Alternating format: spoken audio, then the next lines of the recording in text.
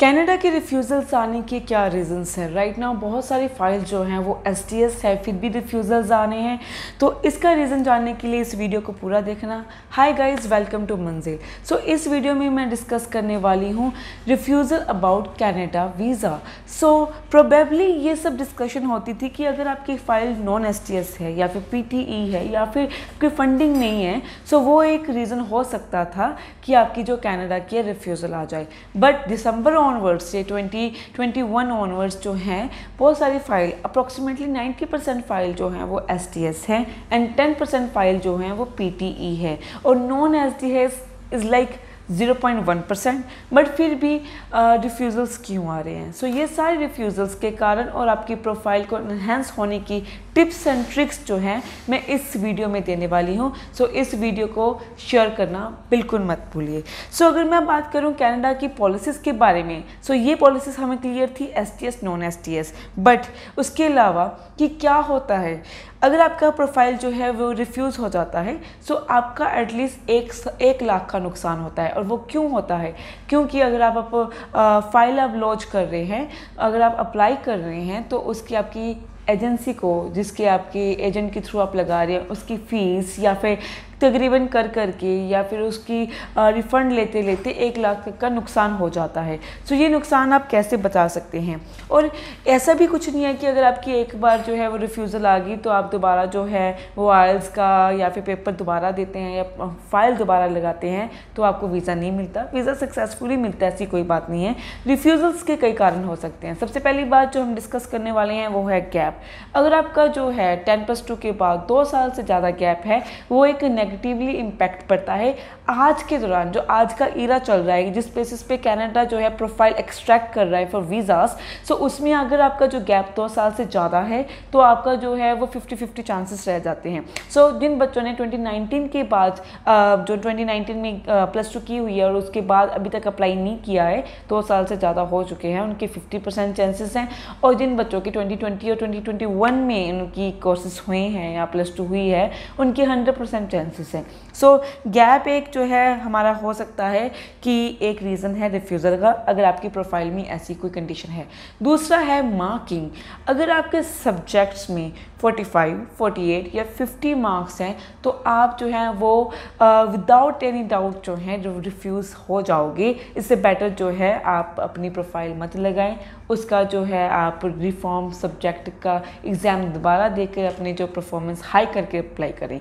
जो minimum category है वो मिनिमम 55 है। अगर आपकी मिनिमम किसी भी सब्जेक्ट में 55 है then you are like eligible for Canadian visas अब यहाँ पे जो अच्छी मार्किंग की मैं बात करूँ ऑफकोर्स वो 55 अबव होने चाहिए। 55 के नीचे जो है वो हार्डली हो जाएँगे।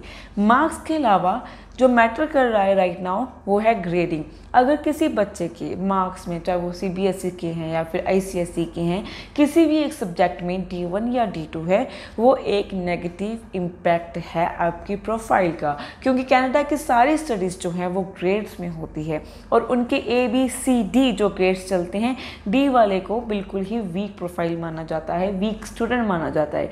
और अगर आपने यहाँ से ही डी अपने ग्रेड लिया हुआ है एंड फिर आप उसके लिए अप्लाई कर रहे हो तो वो एक रीज़न हो सकता है कि आपके जो हैं नेगेटिवली इम्पैक्ट हो और आपका वीज़ा ना आए। और ये मार्क तब है प्रैक्टिकल के मार्क्स जोड़ के नहीं बता रही हूँ। प्रैक्टिकल के अलावा अगर आपके डी वन डी टू है तो आप जो है नेगेटिवली इम्पैक्ट हो जाएगी, आपकी प्रोफ़ाइल नेगेटिवली इम्पैक्ट हो जाएगी। थ्रेटिकल स्कोर्स जो है वो मैटर करते हैं। उसके बाद अगर मैं बात करूँ बैकलॉग स्टूडेंट्स जिन बच्चों की बैकलॉग्स हैं, वो एक रीज़न हो सकता है। वो एग्ज़ाम्पल अगर किसी बच्चे की चार साल की डिग्री है, उसने पाँच साल में कंप्लीट की सो वो एक साल जो है वो एक्सटेंडेड पीरियड माना जाता है।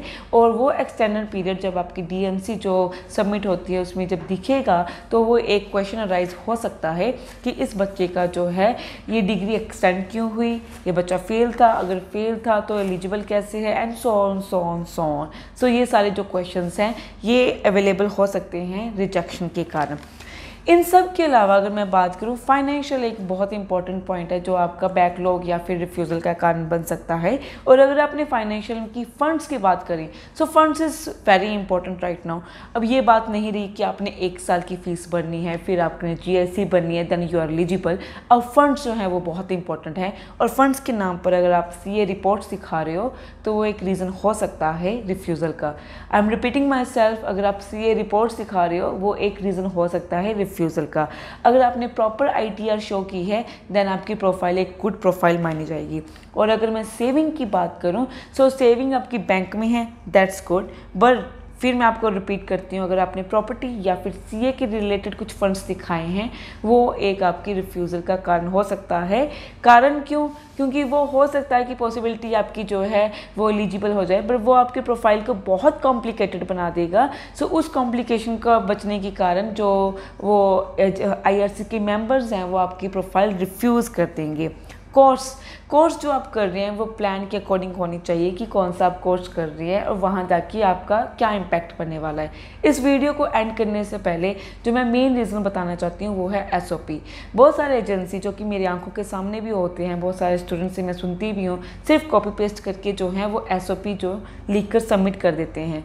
कैंडन गवर्नमेंट फूल नहीं है बेवकूफ़ नहीं है उनको कोई एसेस नहीं चाहिए उनको रटे रटाए चैप्टर नहीं चाहिए आपके एसओपी में। एक ओरिजिनल एसओपी चाहिए जिसमें आपकी कोर्स आपके फ्यूचर गोल्स और वहाँ की सेटलमेंट या फिर रिटर्न बैक की प्रॉपर इन्फॉर्मेशन चाहिए। सो so, ये सारे जो एलिमेंट्स हैं आपकी रिफ्यूज़ल का कारण बनते हैं और इसके अलावा अगर आपने प्रोफ़ाइल एनहेंस करानी है तो नीचे ये दिए गए नंबर्स पर कॉल भी कर सकते हैं।